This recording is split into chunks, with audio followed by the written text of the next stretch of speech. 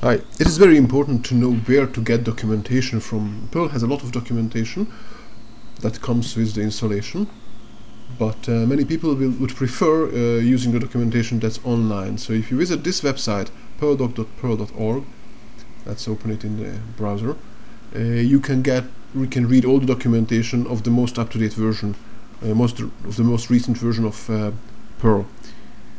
You can also switch actually to uh, an older version if that's what you want.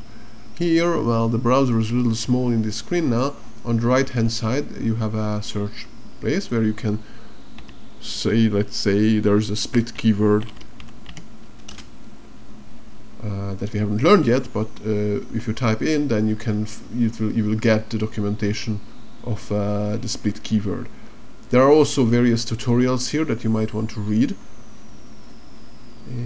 and uh, that's the basically all the documentation that Perl has.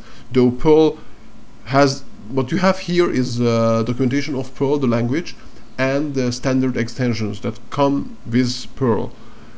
A huge part of Perl is, of course, not here. It's what's on CPAN, and we'll talk about it later. But if you're looking for stuff that's in the in the language itself, then that's in this uh, website.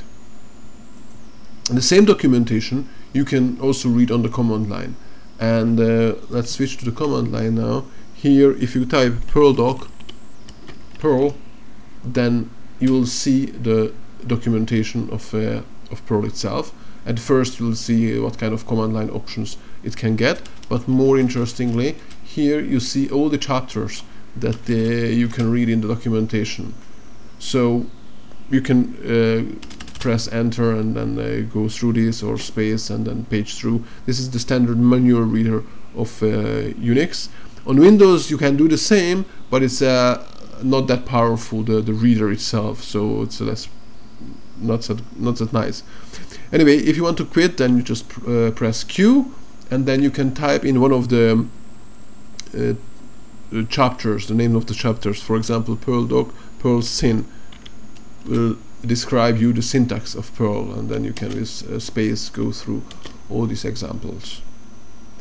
And that's basically how you read the documentation. Or if you want to read the documentation of a specific function you can type in perldoc minus f and the name of the function for example print that we checked and here you can find the documentation. And the documentation also comes with a set of frequently asked questions. So if you, for example you are lo looking for some information about sorting then you can type in I'll show you again Perl minus Q sort and it will look through all the questions in the Perl frequently asked questions and show you the question and then the explanation so you can see several examples here. That's it about the documentation of Perl.